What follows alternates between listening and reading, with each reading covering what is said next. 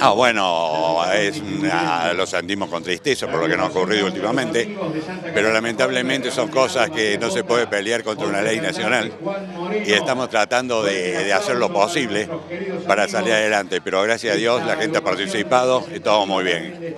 Pareciera que estas cosas también fortalecen porque es como que la sociedad eh, toda se ha comprometido también a, a debatir cuestiones internas y, y para tratar de ayudar también. No, sí, indudablemente, toda la gente, tenemos el apoyo de todo el pueblo y la gente que siempre nos ha acompañado.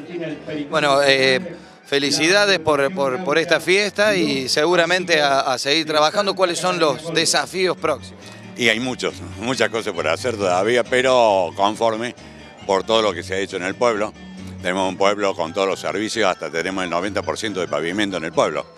Y ahora la etapa principal que, estamos trabajando sobre un proyecto de un colegio técnico en el batallón de arsenales 141 que ya tenemos el visto bueno del ejército para trabajar sobre, que va a ser para toda la zona, no solamente para el pueblo de Olver, sino para toda la zona.